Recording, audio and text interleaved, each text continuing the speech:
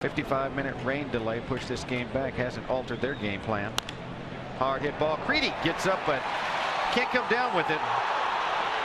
Casey didn't know. He didn't catch it. The throw by Ozuna. Got it! Oh, yes!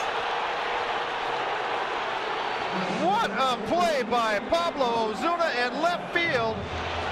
You won't see that happen here at the big leagues probably ever again. It's the first time I've ever seen it.